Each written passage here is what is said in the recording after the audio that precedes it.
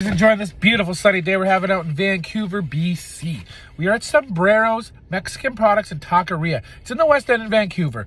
Um, yeah, so I'm going with the carne asada. It's got the two four-inch shells. It's pretty loaded here. The steak, the cilantro, and the onions. Just simple carne asada. Um, let's get in, give her a whirl. It smells, it smells pretty good. It smells decent. I mean, yeah, let's get in.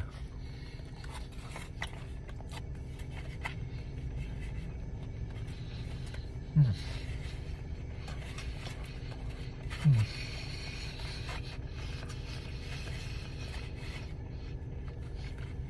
Oh, okay, that was really, really dry, that steak. Oh my God. And chewy. Um, and a little bit cold. Um, had another taco from this place that was cold as well. I don't know what their deal is, but wow. Um, hmm, I am, didn't really enjoy this one, to be honest with you. Uh, just the toughness, the coldness in, yeah, the dryness. Um, I really like a nice, juicy, tender steak like everybody else, I'm sure. Um, I'm, yeah, oh, wow. On the carne asada scale, this one's going to get hmm, hmm, a 4.2.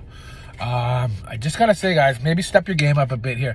People shouldn't be getting cold food, uh, especially when you make them wait a little bit for it. Like, it took me 45 minutes to get my tacos today.